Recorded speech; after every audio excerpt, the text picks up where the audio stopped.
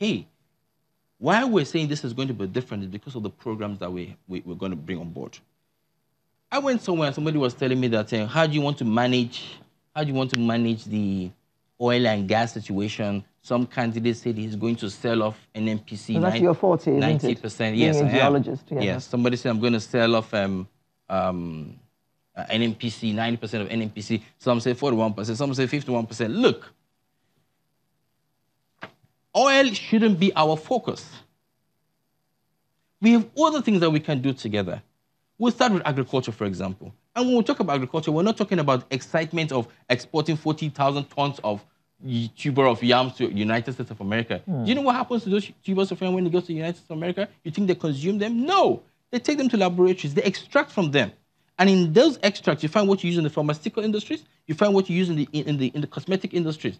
These are the things that are being sold back to us at premium, at the mm highest value. So, in, in other words, what I'm saying is before we can say we're successfully diversifying to agriculture, we must understand that we would have to know how many people exist in this country because we must have food for the people first nobody can tell me that this administration has done well if we still have people that are hungry. Mm. Because that hunger is the key, is the center of everything. Mm-hmm. Now we know how many people, we know what we're storing and what we're taking into the system. We know what we're going to be processing. We know how we're taking, moving from processing plant to the to the um to the processing from the processing plant to packaging plant to onward delivery to the people.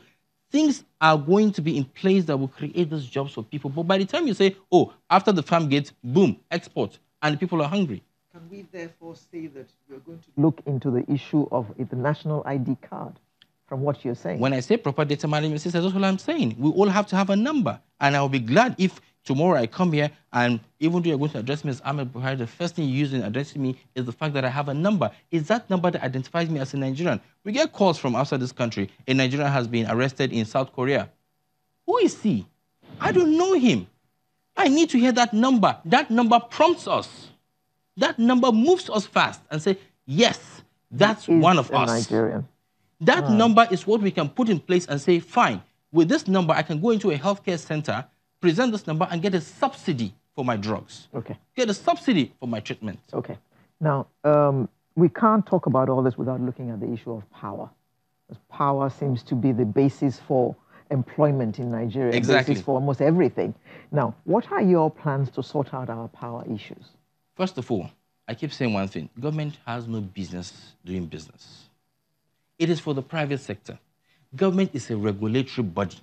Our job as a government is to supervise. Our job as a government is to ensure that the people are doing the things that they are doing according to the laws of the land.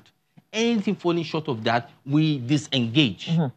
But now we have a country, we have a people who, are, from all standards, will tell you, oh, look, um, okay, fine, we're going to privatize this um, sector, but we're still going to hold the, the, the, the, the central unit that takes in all the power. What do you call the central unit again? The trans, the, the, the um, yeah, yeah, the transmission. Yeah. yeah. the transmission is going mm. to own by the government. While we, I was in Kainji, I was in Jebba, I was in Shiroro, all in part of this whole movement, and mm. I wanted to know why power was short.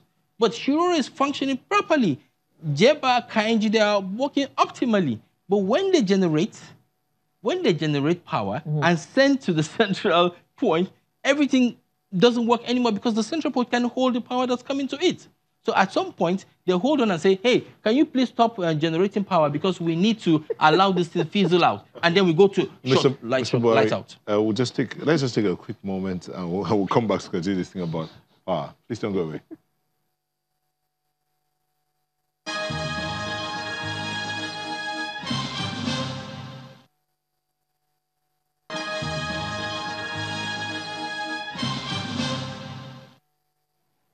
Welcome back. So um, you were talking about solving the power problem.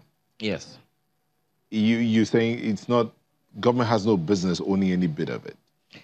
I just think um, as a regulatory body, your primary responsibility is to see that the private sector does this according, accordingly. Because mm-hmm. you know we have tried to see how government holds a bit of it and the rest of it to the private sector. And then the part that's, the part that's gone to the private sector seems to be functioning. The part that's being held by government still seems to have a problem look, it goes beyond just the generation and the gencos and the storage, it also has to do with the fact that we need to amend some of these policies. We need as a gov- we as a government, we are going to ensure that as a private individual, if you have the capacity to generate power, then we should let you commercialize it, no matter the amount of power you're able to generate. But by the time you put a clause to it, when you still have people living in darkness, then there's a problem. What we're saying here is government just has to relax and say, you know what? What is the primary thing that I have to do as a government? It is to generate revenue. What has held back my generation of revenue to its optimal capacity? It has nothing to do but the fact that we don't have power. Can this power just run on its own so that we can focus on tax collection because then businesses will thrive? This is just simple. This is a simple thing here. But we have we have decided as a government to be in the mix of everything. And like you, I was with somebody. Have you, have you, also thought about the fact that there, there's, as they say, there's a cabal that has hijacked this thing and they are making money off this so that it has to stay that way, otherwise it won't make money. Anything is possible right now. But I can, you know, I can delve into some cabals that I've never heard of or seen. I just think we are all a cabal right now. Plus, from the people on the down level who would ensure that, that you don't come into the gates of a building because you want to do business. See, I'm going to go back to Rwanda. Look, when we went to Rwanda with my team of 10, as I speak with you right now, three of them are back to Rwanda because they went back and in two weeks they were able to register a company, see four ministers, and have started a business. That's the ease. It's simple. It's, it flows. The minister was supposed to travel the day they got there. And the, the, the lower officer said, Oh, minister is supposed to travel, but this is good business. Let me go talk to minister. And then he went upstairs. And the boys were like, no, when is he coming back? We'll wait. The Nigerian mentality, we'll wait. He said, no. They went there, they talked to the minister. The minister, he didn't, no, no, no, no vexation, no anger, nothing. And the process went through. And do it. Okay, the the other side of it, would would soon let you have, you've, real quickly, talk about education. How do you intend to change that thing to resuscitate the education sector? Education has to be decentralized. Is it not decentralized already? Not quite. Not quite. People still expect uh, federal allocation. People still expect uh, money coming from the center. Mm, that's for that's for government institutions. Even for unity schools. Even the unity schools. No, I'm talking that that's only for the. I mean, what about the private schools? They can't be expecting money from government. What is the what is the business of the government with the private school? The private school can do its business. What we're supposed to do as a government, what we're supposed to do as a government is to ensure that people start seeing the government schools even doing better than the private schools. That is the primary goal. The reason why the private school started thriving, go to a private school. The reason why the private school started thriving was because the government school started falling. That's exactly what started happening. So your responsibility is to see how the people will know who to hold accountable. If anybody is complaining about a school in my locality now, the first thing that comes to my mind is Buhari. Forgetting that you have elected people on all fronts in the build-up of whoever is in the center. But this is going to keep happening because the center is holding all of it. The, these things have got to be broken down. And that is why nothing is reaching the people. There's a huge gap.